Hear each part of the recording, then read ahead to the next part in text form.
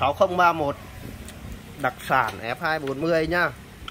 Với lại là L436 nhá. Nay hướng dẫn anh em làm luôn để không phải thao này, lại bảo là main là làm sao lại ấy này. Nhìn này, đằng sau main này. Đó, có hai dắt ha. Hai dắt y chang nhau ha. Cái này là gắn sai dắt cho nhau nhá dắt này là dắt quạt laser này. Dắt này á, ba gãy gần nhau này, là hộp từ này. Hộp từ thì phải gắn vào dắt này nhá.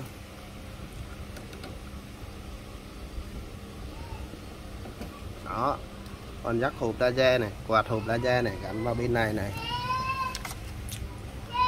Đó. Mở máy lên.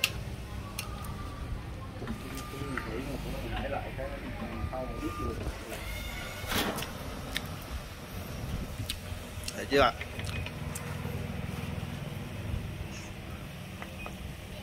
chụp thoải mái luôn.